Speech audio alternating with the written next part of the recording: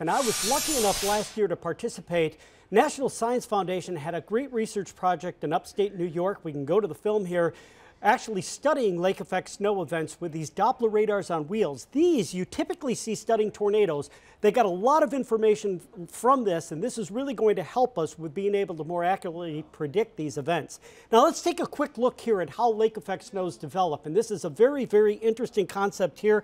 Essentially, it's pretty simple. You're moving cold air across the warm waters of the Great Lakes here. That develops instability. A lot of moisture and heat goes up into that air mass, and as it gets into the air mass, it condenses out into snowflakes as it gets to the downwind shore here, and eventually we end up with a snowstorm. But I'll tell you, the scale that this occurs on is really something.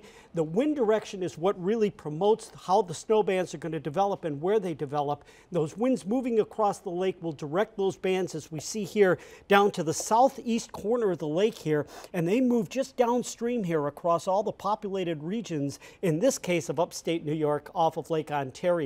And again, we talked about how just how localized these are. This picture is worth a thousand words here, guys. This is the city of Buffalo, and I've gone through these before. You literally are seeing a wall of snow. This is the downtown part of the city right here, the north side and the south side. This is a band of lake effect snow. Can you imagine seeing this where your relatives on the south side of the city are under three feet of snow, while to the north of the city we're sitting under sunny skies and green grass?